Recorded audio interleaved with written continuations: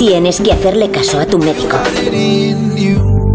La quimio te provoca náuseas frecuentes. Has perdido más de dos kilos en una semana. Gracias. Sigo siendo tu amiga. No puede ser verdad. New Amsterdam. Mañana a las 11 menos cuarto en Antena 3. La 50-90. Mucha conga